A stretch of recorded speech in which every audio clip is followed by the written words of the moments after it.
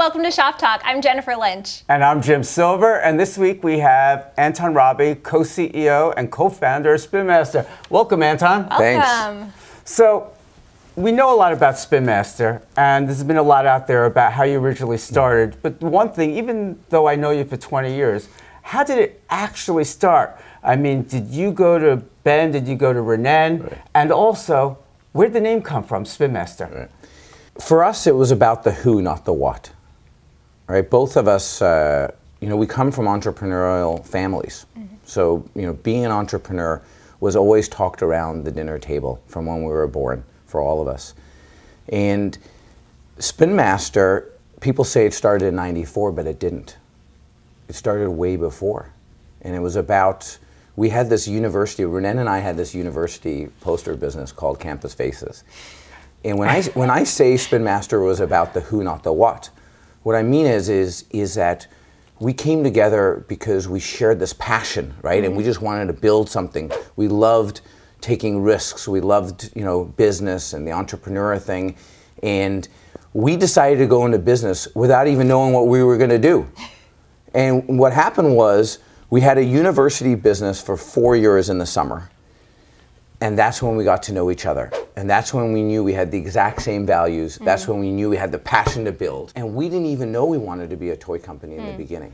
Actually, the first product came to us from Israel. It was called Earth Buddy. I remember Right, everybody's yes. with the hair. Yeah, mm-hmm. exactly. So we were just we were like piss and vinegar, and when we found the Earth Buddy, when Earth Buddy came to us, we were like, let's launch it. And again, for the first two years of the company, there was no strategy, no PowerPoint, no private equity investing us. We were just Was it just you, Ronnen, or was Ben also part of the launch? well, Benny I met in university. Okay. And Benny came in, uh, he came in in 94. So Ronnen and I did the university posters together. Benny came in right away because I said to Benny, can you come out and help run the factory? I mean, think about the polarity here. Because he's, he's the chief creative officer. and he came in starting to run the factory. And, um, and Benny's like, yeah, I'll come, I'll help out for a couple months. When I went to Hong Kong a couple years later, the ho- my hotel room was our showroom, and I used to try to make sure that that the bed got taken out before the customers came in, right? Because it was a basically Yeah. a trolley thing, mm-hmm. and I mean, I in Hong Kong, my first Hong Kong, I was like the lobby lizard. Where I was going around between Royal Gardens and Shangri-La, walking around 20 times trying to shake hands with people. I remember I used to, like every buyer, I, I would study their name, their phone number. John Young from Walgreens, Frank Craven from Walmart, the buyers from Toys R Us, KB Toys, and I would just try to shake hands. I'd be going around the lobby, and then I'd know every single every single uh, hotel on Mody Road. I'd know the phone number off by heart, trying to get, Wow. and I just call and hang That's up, call and hang up. Like Shangri-La, 5251, 52111. You name any hotel, I'd tell you the phone number off by heart. Jeez. And we just started from such humble beginnings. I mean, Benny and I used to sleep in the same Ben? you know, right? So it's just like every part of the company started from very humble beginnings. We used to handle every side, you know, uh, matching purchase orders, putting out fires, and um, it's uh, you know, it, it was very entrepreneurial. Yeah. So so much of it from the beginnings for you guys sounded like it was a lot of baptism by fire moments. So um, what would you say were your biggest challenges um, in the, during the beginning stages? in the first couple years, I mean, we faced. I mean, there's two groups of challenges. There's challenges that came from growth, and then there's just other type of challenges, right? Like, the challenges from growth were good challenges. It was just putting out fires, like reallocating product, having to figure out how to air freight. I mean, when we when we started in the first year, we were manufacturing the Earth Buddies locally in, in Toronto. We had a factory. So we would we were having challenges where we would run out of sawdust or grass seed or nylons or the eyes for them, and we'd and Benny would call and he's like, "I've got 40 people standing here, and the fa- and the line shut down." So we were constantly putting out fires. Yeah. And you know, I mean, you got to remember, we are 20 years old. You know, one of our biggest challenges was attracting the right type of talent. Right. Like you can't imagine um, at that stage, you know, trying to convince people to join the company. you know, we couldn't we couldn't convince any Americans, okay, to come up to Canada. You know, and it's not just our tax, Or the weather. right? And yeah, so it was um, it was really hard on the talent side, and we would go through, you know, make mistakes, and trying to attract the talent that we wanted. And there was the the thing in Toronto is that there was no toy companies in driving distance that developed. They were just like in Canada 25 years ago, it was just distributors. Gotcha. So no one had done design and development and engineering and the real, you know, uh, early stage stuff. And then, like I said, I mean, there's endless stories about ch- uh, things that came from growth, which are great problems to have. Um, but uh, you learn a lot from all the mistakes you make in the early days. I want to stay on talent, and this is something that you mentioned to me that not just Spin Master, but other companies, talent is one of the biggest problems because companies lose about 10 to 15 percent of their workforce every year.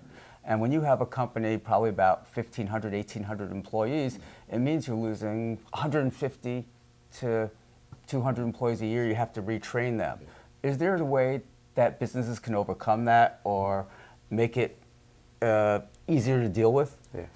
So when it comes to talent, there, there, there's no there, there's no brilliant idea. It's about the basics, right? Doing the basics really well is you know with respect to understanding what motivates each person, understanding how to career path, you know, knowing what's on people's mind, you know, creating the right environment. Like we just created this global headquarters, and the and the environment we created for innovation, um, and um, making sure that you, you give people special projects and special assignments so that they're always learning. But the reality is this: is our competition, headhunters, people love calling Spin Master, uh, and people love going after our talent. And we're, we're in a war on talent, and we got to put truth on the table. And people love our talent because um, it's, it's known that if you work at Spin Master, you're more resilient, you got more grit, you're used to these crazy meetings and this, you know, this intellectual chaos and, and, you, and, you, and the whole balance between art and science. So our, our people are more exposed to different areas of the business. Our people are more resilient. Our people are more, they have the courage to talk up and share their ideas because we actually, we reward people for there's an amazing story about a lady who joined us um, from the Fisher Price office, and she came up to Toronto, and she there she was. She stood up to Ronnen and Benny and, and us, and she challenged all of us, and the everyone couldn't believe, and she held her ground strategically. And from that mon- from that moment, the respect for her was so high because the way she challenged us. For, it was so thoughtful, so strategic. She held her ground, and we want people to challenge us all the time because that's how we're going to make better decisions. Right. It's tiring, you know, when people challenge you, but at the the- the goal is just to make great decisions. Now we have 29 offices, 2,000 employees, so it needs to be more systematic. It need, you know, we need to formalize how we're doing that, and that's what we're doing. We have this thing called Inspire in the organization, where um, where we're lifting our game in every angle of talent. So we're lifting our game in what does it take to be promoted, the manager capability. We're lifting our game in empowerment. We're lifting our game in um, even like things like well-being, okay, and helping people with their with their wellness. We're lifting our game with respect to pride in company and you know the training, the development. We're going to be building a Spin Master University. I mean, a lot of companies like Kraft or Procter and Gamble, Mattel, Hasbro, they have incredible training. Our training has always been on the job, like informal training, mm-hmm. when you have access to the to the people at the top. But but we have to we have to make that next step where we formalize training. We need to formalize stuff. I mean, we've always loved the informal culture in the mm-hmm. organization, but now the reality is with 29 offices, 2,000 employees around the world, we, we've got to start to, to uh, bring in that best in class, but do it, in a, do it in the touch of the Spin Master and in the entrepreneurial type of way. So you mentioned global headquarters. Can you talk a little bit more about that? What you're doing there? I I didn't know about it personally. Did you? It did- no, I, I knew. For us, what's most important is talent. Mm-hmm. And, and we're a more diversified company than a lot of our competitors, and, and you know, diversification is important to us. So it, it's for us, it's all about you know where is the greatest talent in the world in either different industries, in different areas, like for example, Toca Boca in Stockholm. Yeah. So I mean, right now, when you look, when you think of Spin Master from an innovation center, we have three, we have three core innovation hubs.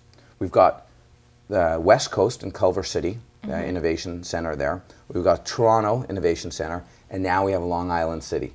And Long Island City has just come together, okay, in the last literally six months. In Long Island, we've got the whole games portfolio, which is a very strategic, um, it's an important part of the company, reoccurring revenue, and it's uh, just been growing and growing and growing.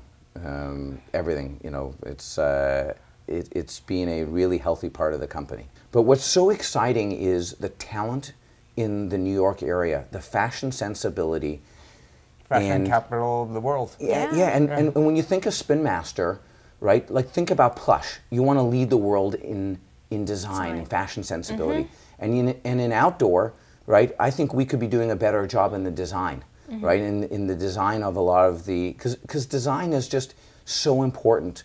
Where Absolutely. we're living in a world where for the consumer that emotional connection is more important than ever.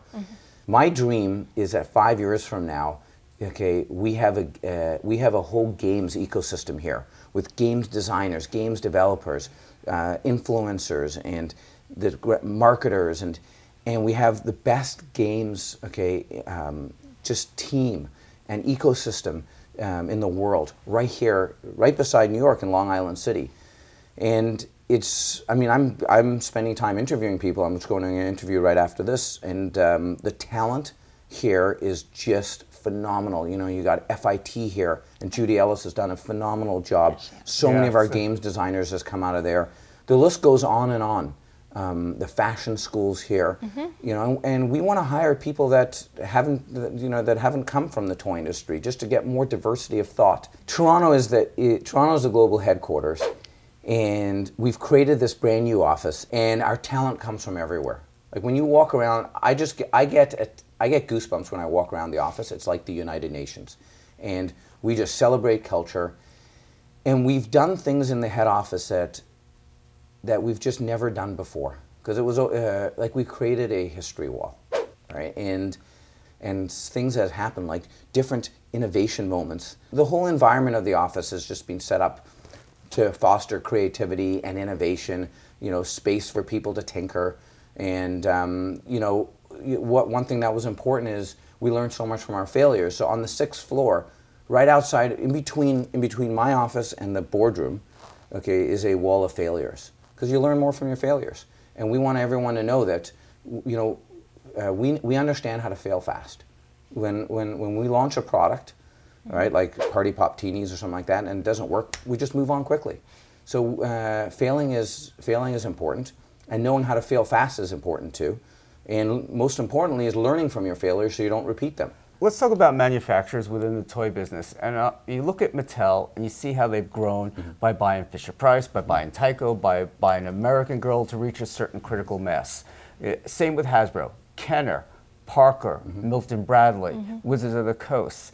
And it, it feels like in order to reach a certain critical mass, you have to make Make- acquisitions. I- Is that the case? Can you only grow so much uh, internally and you need to make before yeah. That's a great question. You know, firstly, large ac- large acquisitions um, are risky, and over sixty percent of large acquisitions don't work out. You know, many different reasons. Culture, um, sometimes a lot of the assumptions for growth were wrong. Um, so you first need to just start by humbling oneself and realizing that you know acquisitions they seem all sexy and everything like that, and yeah, you can get immediate growth, but you have to humble yourself and realize that even the, the best in the world, you know, um, you know, most acquisitions don't work out.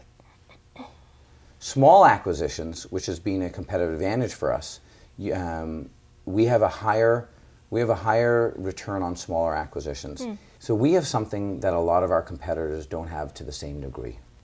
That which is? we were we were we were started and founded on organic growth. And the way we innovate, the whole iterative process on the way we work with inventors and the whole innovation process, our internal ACT team and the way how Benny works, okay, with everyone. And there, there's so much I could speak for hours about how we win, innovate, you can't just explain it in seconds how we innovate because so many different people. Because what happens is an inventor will bring us a product, like like for example Zoomer. It came to us uh, from Pete, and it was it was a truck. And then Benny's like, well, why don't we why, uh, why don't we take the technology and make it a dog?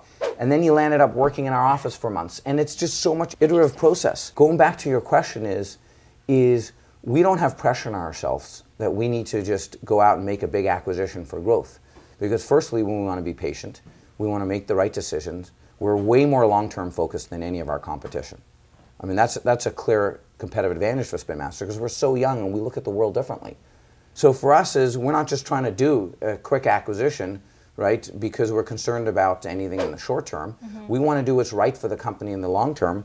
And because we have grown up being scrappy, knowing how to innovate, okay, from scratch, that um, the organic, okay, part of the the organic part of the organization, okay, continue to uh, will be able to allow us continue to fuel growth. The entertainment, we're investing more than we ever have. And on our seventh in Toronto right now, we have an incredible, in literally in 30 days, we're unveiling this incredible studio in Toronto, um, or an entertainment, the whole seventh floor of a building, 25,000 square feet. TV shows, movies. What, know- are you do, what are you doing in terms of entertainment? I mean, it's just listen. It's you know when it comes, it's just producing great 365. storytelling, and there's so many different places that you can show it on, whether it's on YouTube or Nickelodeon, on all different places. So we're open. You know, it's it's it's all about creating an amazing story, just like Paw Patrol. Right? Yeah, perfect. Um, so we're driving the entertainment, and we're literally we've invested, we've really increased our investment when it comes to um, all aspects of entertainment. Anton, one of the keys to Spin Master success is you have an unbelievable relationship with inventors. I've heard about wild weekends and all the inventors come in, parties. Can you talk about Creating an environment. yes, yeah. create an environment and the relationship with the inventor community? Well, yeah, listen, there's so much to share, and um, the mix of art and science, and the way you the way you you walk that that fine rope, is critical. And we've had art a little higher than science. We appreciate, we respect the importance of both, and we utilize both every day. But when it comes to the innovation side of the business, art trumps science at Spin Master. And, it, and it's a very important nuance, and the inventors love that. The second thing is, is relationships. Is that the relationships, uh, whether it's the inventors or whether it's retailers or whether how we work with um, just any stakeholders in the world, whoever we're working with, if we're working with broadcasting companies, uh, we just did a, uh, we doing partnerships with different games studios around the world, um, is we have such a genuine, authentic, deep, real way of establishing partnerships with people. So I can't say enough about how we develop these relationships and how we keep the relationships front and center. And our staff know. So people at Spin Master, whether even if you're in the legal department, they know that if you're if they're working on a contract, okay, that they they treat the partners differently because of the relationship. Right? And we want after people sign contracts with us, we want them happier afterwards than they were before. Right. So there's so many layers at Spin Master because we have incredible engineers and designers in house, which are so in, uh, innovative. Like I could name people who are just so innovative in house. Then we have these dedicated uh, innovation groups, like the ACT group, the SMART group. These are all like acronyms for groups. Right. You know, so so we've got you know two of the founders who are great in innovation, not me. We've got yeah, dedicated innovation teams. Then we've got inside the brand teams and the GBUs, there's great innovation. Then there's innovation that's coming. Like we get phone calls from, we get phone calls from companies like 3M type companies where they have like this crazy intellectual property, and they're like, "What's the application for kids?" Because you know you guys are known as the best in the world dealing with inventors. Um, so we're, we're, we're getting innovation and, and intellectual property being brought to us from every corner of the world and it's um, the re- the flywheel is happening with inventors because we're the first place inventors come to in the world when we treat them so well and we want them to do great. So it's just it's something that's it's just self fulfilling. You talked about that facts are your friends. Yeah. You, you talked about art and science. Um, there are antonisms. and, and I want to discuss your favorite antonisms before we go. I happen to have. I wanna know them too because I Jim happen- mentioned this I to me happen to have 12 office. antonisms. Anton has preached his antonisms. Matter of fact, my whole family knows them, and my daughter saved them. So I have 12 antonisms right here, and things like facts are your friends, then opinions, or if you don't ask, you don't get. As you mentioned, science what's his, before. though? so uh, I wanna know what- let's You got see. feedback is a gift Give- is feedback is a one. gift. Change or die. The only thing constant in life is change. And so I want you to know my daughters have kept these. Mm-hmm. I've kept these. What are your favorite antonisms for business? You can even look. Well, at triple your- O. Do you have triple O on there? I don't have triple O. Tell me about Whoa, triple, you're missing triple one. O. Uh, Add triple O is open mind, open heart, and open will, and it's about mindset. Okay. Right? And it's, Oh, I, I didn't know. I have open mind, Okay. open heart, open Yeah, that's triple I, ha- O. I have it. I have triple. So yeah, and that and it, that goes back to you ask about how we work with inventors because mm-hmm. for us we have an open mindset. Ideas can come from anywhere. It mm-hmm. makes no difference where the ideas come from. I mean, we had a great arts and craft product that came from someone internally, you hmm. know, on um, you know on something we're launching now. And it's just Bunchems. There's a gentleman Paul internally did a great job on it. So what's so important to us as an organization is having an open mindset. And that links to the way we treat partners.